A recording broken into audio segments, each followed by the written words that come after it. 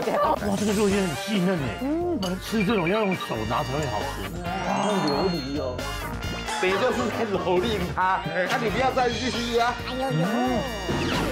嗯，怎么会好吃到这种地步啊？嗯嗯，聊得太开心都忘记我要吃我的肥肉。旁边这么多老板，很少自己兴奋，然后真的要吃的。